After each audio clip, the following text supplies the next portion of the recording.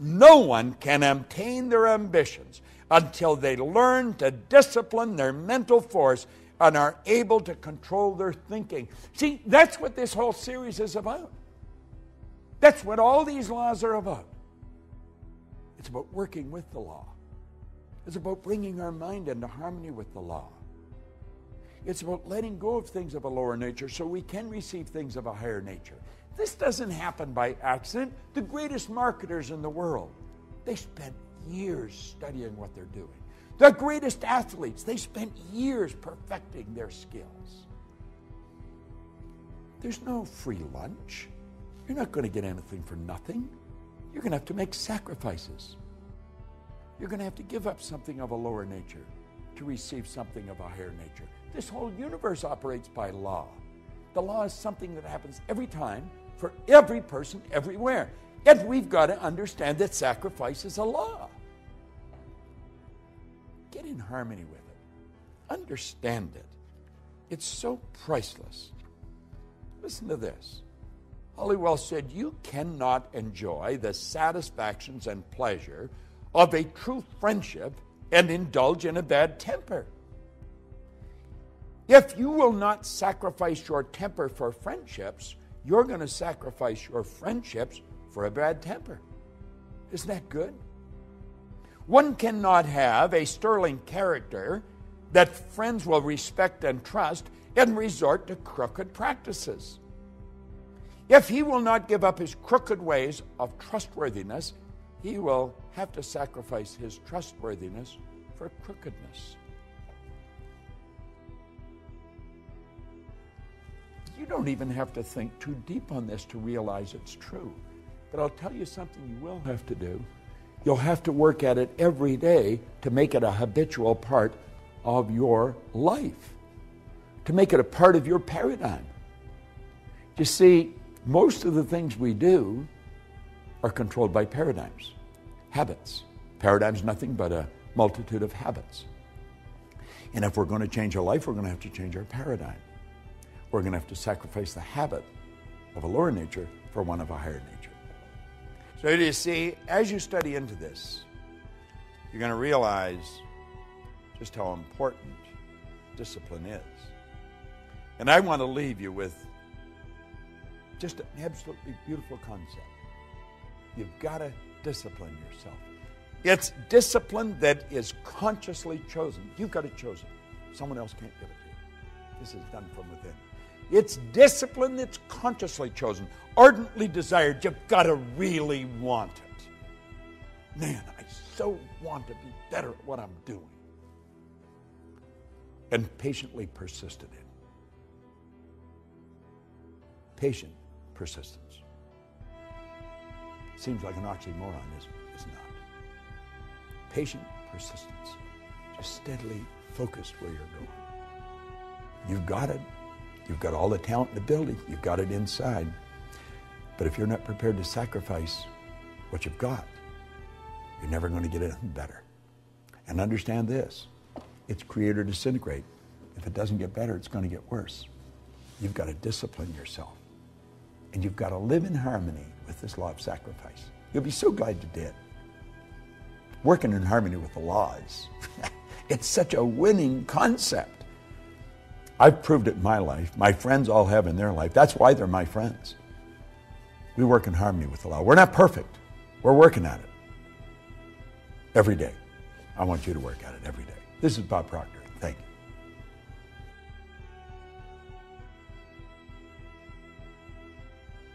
There's a marvelous poem in this program, Working with the Law, by Henley. It's one I have loved for years, Invictus. Listen carefully, then read it over and listen to it over and over. Out of the night that covers me, black as a pit from pole to pole, I thank whatever the gods might be for my unconquerable soul. In the fell clutch of circumstance, I have not winced nor cried aloud. Under the bludgeonings of chance, my head is bloody but unbowed. Beyond this place of wrath and tears looms but the horror of the shade, And yet this menace of the years finds me and shall find me unafraid. It matters not how strait the gate, how charged with punishment the scroll. I am the master of my fate. I am the captain of my soul. And you know, you can say that exactly the way Henley wrote it by working in harmony with these laws, and especially the law of obedience. You know, a lot of people grow up and they don't want to be obedient, and, and you're going to find some of the greatest leaders in the past. If you studied their lives according to society, they were definitely not very obedient. Many of them spent time in jail. They didn't follow the rules of the land always, but you know, they were obedient to the laws of nature, or they would have never accomplished what they did. Holliwell said that you should be a builder, and to him is given all the materials out of which to construct the kind of life you desire to live. You build in wisdom or in ignorance according to your obedience, according to your understanding of a divine law and the use of it in your daily life. Now, you know, being obedient is not always an easy thing to do, but it's always rewarding. I'm not talking about you being subservient to some person that really doesn't understand what's going on in this universe. Let me go back and share with you again what I just read. He said here that you should be a builder, and you've been given all the materials out of which to construct the kind of life that you desire to live. Now, you're going to use these tools. You're going to build in wisdom or in ignorance, according to your obedience to, according to your understanding of divine law and the use of it in your daily life. If you don't understand the laws, you're, you're never going to be obedient to them. You're going to violate them at every turn in the road. Why? Because we have been programmed to. We've been programmed to be good little go getters, and yet the law says, Give and you'll receive. We've been programmed not to live in harmony with the law of sacrifice. No, no, don't let go of it. Keep what you've got and get more. That violates the law. Listen to something else that he wrote here. The word obey means to submit to rule or to comply with orders or instructions. Obedience, then, is the governor of all movement, whether it be mechanical, literal, or spiritual. A giant machine without its governor would tear itself apart would be utterly destroyed because it failed to obey its own laws of momentum and gravity. An intellectual giant who fails to comply with the laws of learning will become as an idiot. A student failing to comply with or to obey the instructions of Spirit, the law of God, will reverse the good and create evil. We are dependent entirely on obedience for our success or failure in this life. Now, business is founded on obedience, and as each member obeys the laws of commerce, they're going to succeed. You see, as we study these laws, we have to understand that we've got to become obedient to them.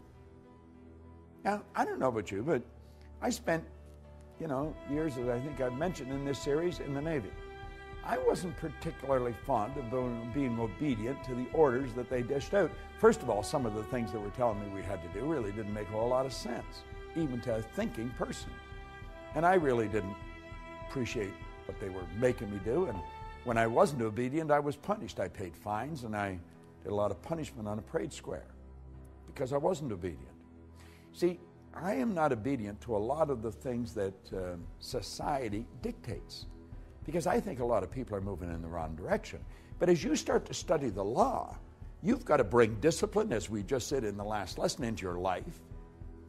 It's consciously chosen, you see, ardently desired, and then patiently persisted in. It was such a beautiful way he described it. Well, we've got to bring discipline in our life, and we've got to become obedient to these laws. And if we don't become obedient to the laws, we're going to lose. It's just that simple. It's like you said about a machine that isn't obedient to the laws of momentum and gravity, it's going to fall apart. Well, I think it's becoming apparent as we get into this that this is not something for lightweights. This isn't something for just anybody up and down the street. Although it will work for everyone, not everyone's going to do it. Not everyone has brought discipline into their life. Not everyone follows all these answers. Now, listen to this for a moment. We see in nature the answer. She has no troubles she cannot overcome. She has no problems she cannot solve. She has no burdens she cannot bear, no tasks she cannot perform. We're talking about nature. Why? All her operations are governed by the mighty law of harmony and order, which constantly removes every discord, which heals all diseases, which rights every wrong, which supplies every need. Now think, he went on to say, if in the winter a young sprout attempts to break through the soil before season, Mother Nature destroys that sprout, rills it off, or freezes it out. Yet, at the same time, the very snow and ice that freeze the little unruly sprout serves as a blanket of warmth and protection to all other seedlings complying with her law. When man wishes to use nature in his work, such as farming or gardening, he must know how to comply with nature's laws. In turn, as he obeys her laws, he drives the best results, and in the end, will enjoy the greatest harvest. And you only have to play with this for a little while, and you're going to realize just how accurate this is. He who obeys the laws of nature and acts as her obedient servant later becomes the master and reaps a full harvest. I know in my life, I don't do this perfect by any stretch of the imagination, but I'm getting pretty good at it. And I'm a lot better at it than I used to be. And you see where it really starts, it starts with understanding these laws. Now, the more you listen to these videos, and keep in mind the videos are just really an overview, it's just to really give you a picture of where you're going with this. But as you dig into this in some depth, as, as, as you get into this, and then as you get into the other, the Science of Getting Rich series that we have, and I'm sure that you're aware of that, as you get into the laws there, we're getting into very basic laws that govern how everything happened. I got to go back and quote Wernher von Braun again. Here's a great rocket scientist. He said that these laws are so precise that we don't have any difficulty building spaceships, sending people to the moon, and we can actually time the landing with the precision of a fraction of a second. Now, think of this for a moment. I want you to think of your health. Think of your health for a moment. Just think the health of your body. Now, I want you to think of your finances, the amount of money you earn. I want you to think of your friends, your social life. Think of your own family, your family. Think of every aspect of your life and understand this every aspect of it can be better if you live in harmony with the laws. Now, do you know by doing this, you could be accused of being selfish. I like the way Oscar Wilde put it. He said, Selfishness is not, living as one wishes to live, selfishness is asking others to live as one wishes to live. There's a lot of selfish parents. There's a lot of selfish people. They want people to live the way they want to live. You've got to be true to yourself. If I want to be free, I've got to be me. I've got to be obedient to these laws, and the more obedient I become, the more I'm going to win. But it's based on understanding, and understanding only comes one way if there's another way that you know of, let me know because I've been looking for a long time. You must understand these laws to live in harmony with them. Understanding only comes through study. Study these laws. Dig into this program. I guarantee you, you will be so happy that you do. And then share it with as many people as possible. You're going to love the next one the law of success. It's a beauty. This is Bob Proctor. Thank you.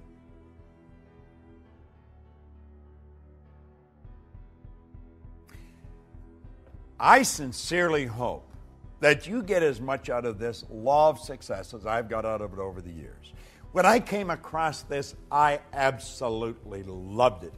I have probably read this first page at least a thousand times. I've shared it with hundreds of thousands of people all around the world. And now I want to share it with you from how I see it. I'm Bob Proctor, and I want to talk to you about the laws of success as Raymond Holliwell shared it with me. He said God intended every individual to succeed.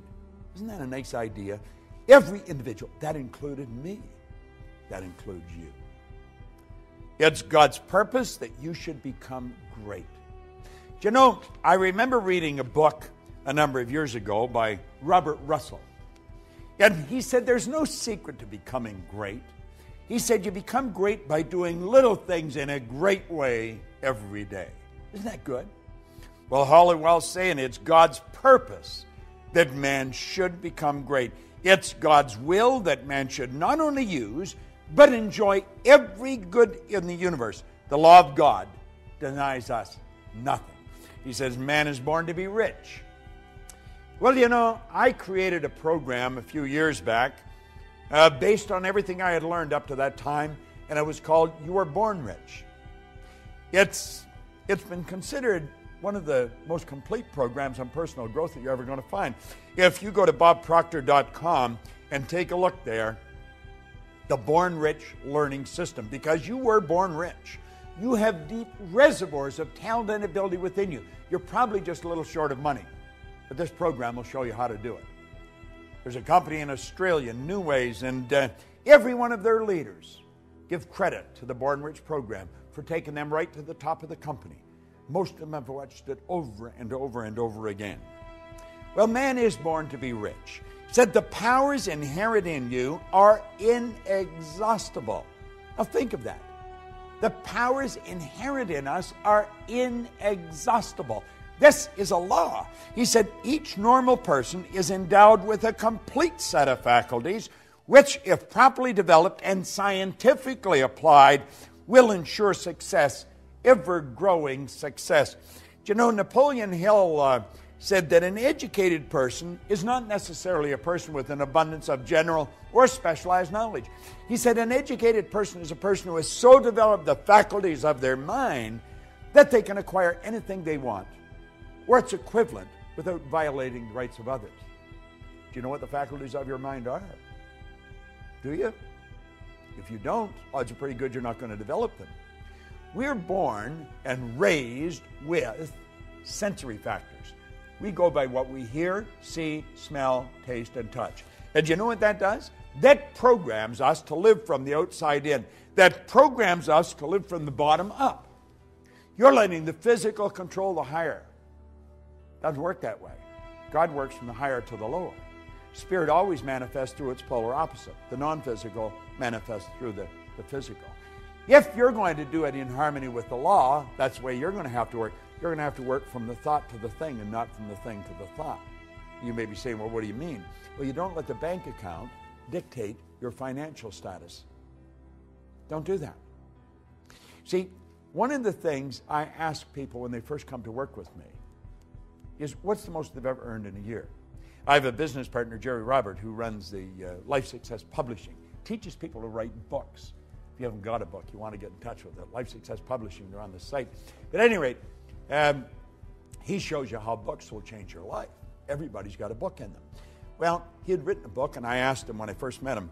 Mark Hansen introduced me to him, and uh, I asked him, "What's the most you've ever earned in a year?" And he said, $100,000. He was pretty proud of it, and that was pretty good money 20 years ago. That's when I asked him. And I said, if you do exactly what I tell you, I'll show you how to change that into a monthly income. Do you know within months, he was earning that every month? The Chairman's Club that we have, um, you just go to bobproctor.com and you'll see the Chairman's Club advertised. We teach people to turn their annual income to a monthly income by setting up multiple sources of income.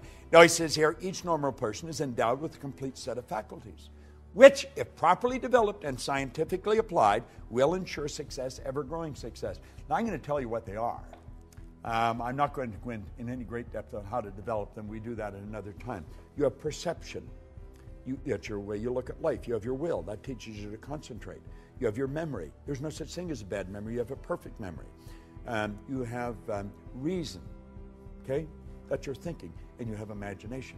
These are all phenomenal mental tools. And you can use them to develop greater and greater success. And you're going to have to use them if you're going to live from the inside out.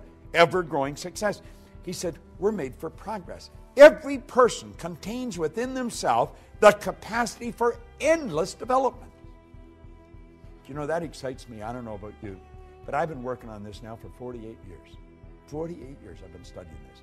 And I know that I'm going to study for the next 48 years. I just want to keep getting better at it. Endless development. Advancement into all things is the law's great purpose. Now, that's a phenomenal idea. Advancement in all things is the law's great purpose. By learning to work with the law and promoting that aim, you're going to build yourself into a greater and a greater success. So you wonder, well, what is the win in me for really studying these laws? That's it. You're going to build yourself into a greater and a greater success. You're going to earn more money. You just keep earning more money. I went from earning $4,000 a year, now I earn millions of dollars. And it's easier. I don't work as hard. Napoleon Hill said, you know, it takes more, no more energy to work with the big idea than does with the small one. Well, that's what we're saying here. You're going to have more friends, better friends. You're going to live in a healthier body. You're going to enjoy your work more. You're going to work all over the world. You're going to do what you want to do, live the way you want to live. By learning to work with the law and promoting that name, you're going to build yourself into a greater, and greater success. Now, listen to this. He said, All of the processes of nature are successful. Nature knows no failures. That's huge. She never plans anything but success. She aims at results in every form and manner. To succeed in the best and fullest sense of the term, we must, you and I must, with nature as our model, copy her methods. In her principles and laws, we're going to discover all the secrets of success. I don't know about you, but that sort of excites me. I know one thing the tide always goes out, the tide always comes in, the night always follows the day. Winter follows summer. This is the law at work. It's perfect in all of nature. And we can do the same thing. In her principles and laws, we're going to discover all the secrets of success. Now, he says infinite resources are at our disposal. Infinite. There's no end to it. Infinite. There's no limit to our possibility. We can focus and individualize the elements, the forces, and the principles of the whole world. That's a bit of a stretch, isn't it? Do you know that everything in this universe will rush to your aid when you're working in harmony with the law. This isn't some decision of some emotional or capricious God on a cloud. This is the absolute law of the universe. The law is the uniform and orderly method of the omnipotent God. It's the way everything works. Everything works perfect. Infinite resources. There's no limit to our possibility. We can focus and individualize the elements, the forces, the principles of the whole world. We can develop a wonderful intelligence Thus, all of life's questions may be answered, all of nature's secret discovered, and all human problems solved. Nothing is impossible. Now, you may be thinking, well, the world is in dire need of this. Oh, you're so right. Absolutely. But do you know it's because we're living in harmony with the law that we can live the way we do? Do you know there's some people that have never seen a toilet? Do you know that there's some people that have never seen an electric stove or a watch? Do you know that the whole world lived like that not long ago? Do you know that the electric light is brand new idea relative to most of the population of the world? Do you know that these things, everything we've got that we take for granted, they're relatively new? It's all happened just in the last century or so. Think of that. Think of it. This has happened because we start to understand the law. Think of what you can do. Higher faculties, remarkable talent, superior insight, and greater power are dormant at all. And by psychological methods, these exceptional elements can be developed to an extraordinary degree for actual and practical use. That's by you and me. Now, I have been working at this for a long time. I know this to be true. Every mind can develop greatness, there are no exceptions. Simply a matter of knowing how. True self help, self discovery, self knowledge, and proper instructions of applying one's principles and using one's faculties, using one's forces. It'll advance any person. See, the mind is perfect. It's perfect. And man is mind.